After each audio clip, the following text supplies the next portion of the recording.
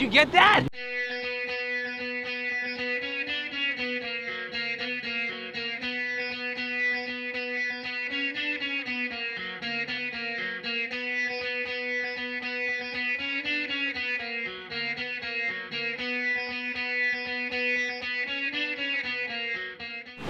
Gnarly. Like this, and I like took it on the chest. That's called a dumbass move. That's called the don't do that at home move right there. Were you looking at Felipe? What, what, what happened? Yeah, he was like telling me to do an air, so I did an air and then I was trying to like give him a little shakas and then face planted into a rock. Whew. That's that new move I've been working on.